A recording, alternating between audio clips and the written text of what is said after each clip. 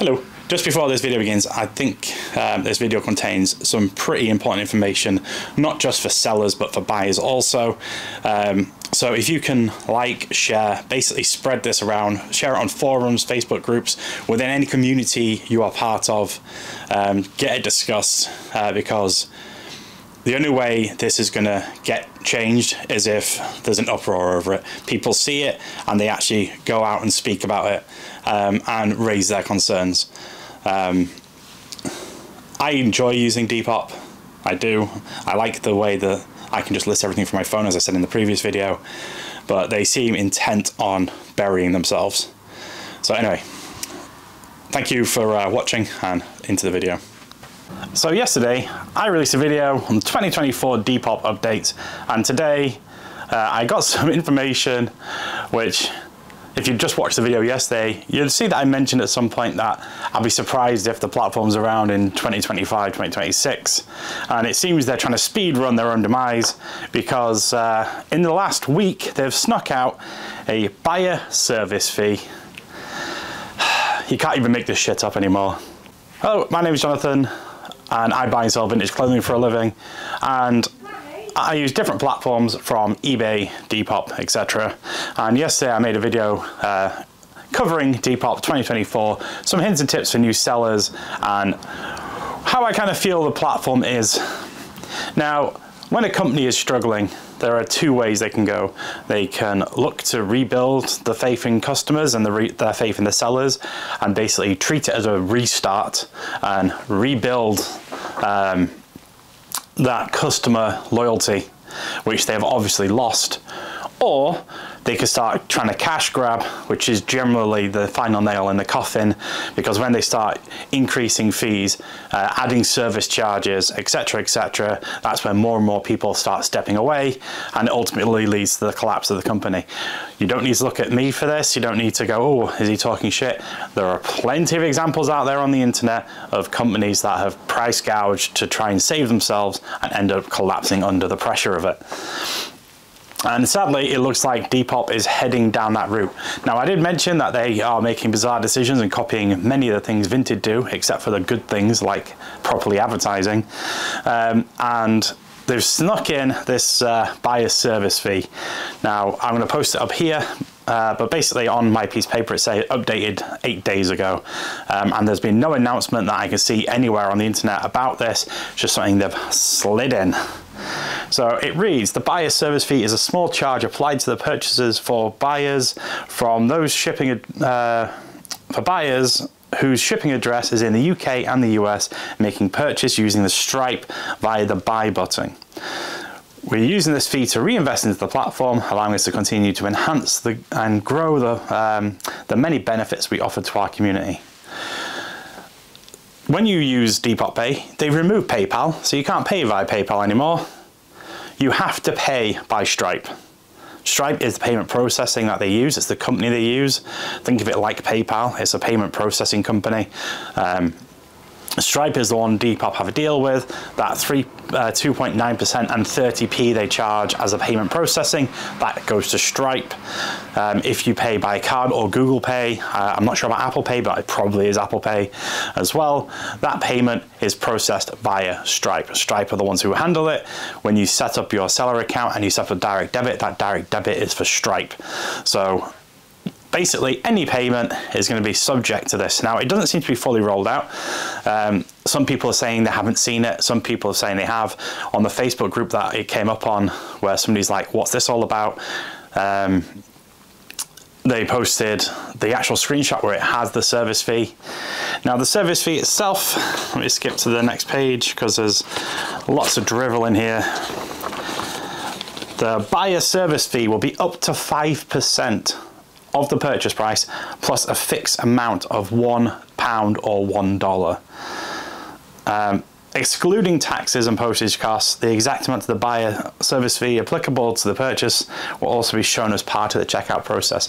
So the buyer won't even know they've been charged it until they get to the checkout. So if it's 10 quid, um, they pay 10 quid plus 3 quid post and then when they get to the checkout there's going to be another £1.50 tapped on top of it for their service charges. It's honestly insane. the promoted um, features is basically we're investing this uh, to our platform to upgrade features, improve security, and optimize performance. What the fuck is our 10% covering then? If you need an extra 5% from the buyers as well. If you tack on 8% for boosted listing, which takes up to 20 odd percent, they're wanting nearly 25% and they're taking it from the buyer and the seller, while also stripping the seller of their seller protection. You genuinely can't make this uh, shit up. Like, it's so insane. And as I said, if you're like me, right, you kind of pay attention to businesses, you're interested in what businesses do, the business practices, the things they do to make money, when things start going wrong, what it is that they did that went wrong. It's literally textbook. Like it's textbook um, poor business management. You couldn't get any further away from it. And I've said so many times, so, so many times, instead of focusing on the real issues, which is um, the fact that the platform is unstable, um, it doesn't work properly, it's slow, it's clunky. Instead of taking the profit they did have and investing it into a purpose-built app that can manage the amount of information that is flowing through it, which this open source software they currently use can't, instead of doing all that, they squandered the profit and now they have no money. They're losing customers rapidly. Their ratings on um, iPlay, uh, not iPlay, uh, Google Store, Apple Store are going down. Um, it is just, they're just digging themselves a constant grave. And this, this is your final nail in the coffin. When buyers, we've already had uh, seen screenshots of buyers saying, I don't know what this, uh, this service charge is, but I'm not paying it. Um, and basically people have posted those screenshots of those conversations into these groups and there's only been a three or four that I've seen so far but the fact that this is actually off their website this is actually off Depop's help desk so this is not like uh, oh is this actually happening this is direct from Depop I'll put a link so you can go to the page itself. It's from the Zendesk, basically informing you what this is. But again, they've snuck this little fee out, not told anybody, hoping no one's going to notice. I can't remember what Vinted charge, but I'm fairly sure it's not this high. Um, so it's a case of, yeah, uh, you couldn't like speed run blowing your company up any quicker than what Depop's currently trying to do. And I hope, I hope, if they see this and their reaction is to block my accounts, fair enough, right? I can just list to eBay, it's not an issue. But I seriously hope somebody higher up pays attention to what's happening, understands what they're doing is fundamentally wrong and actually seeks to fix it. Because the only way to fix the company, and we know this because again, we can compare it to companies that have brought themselves back from these situations. We can compare them to companies who have fallen apart under these situations. The companies that start price gouging just drive the last remaining customers away.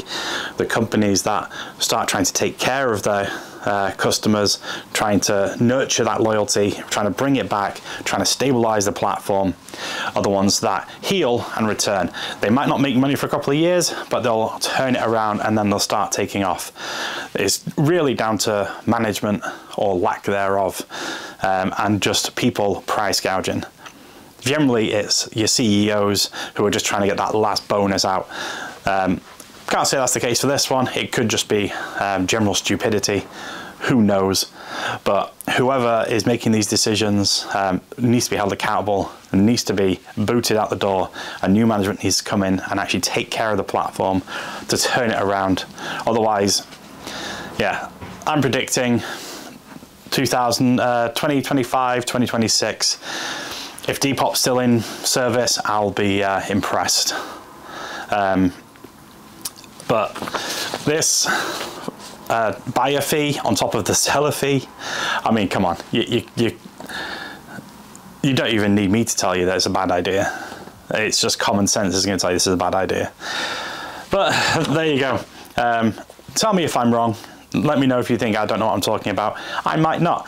I am not an economist. I don't have a degree in businesses.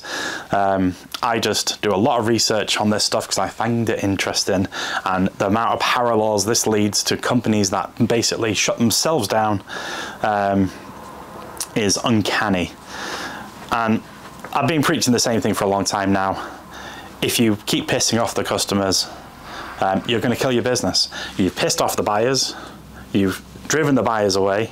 Sorry, you pissed off the sellers and you've driven the sellers away, and now you're working on the buyers. You, you tell me, right? If you don't have sellers and you don't have buyers, you don't have a business. It's that simple. But anyway, uh, I'll catch you in the next one. So there you go. Peace.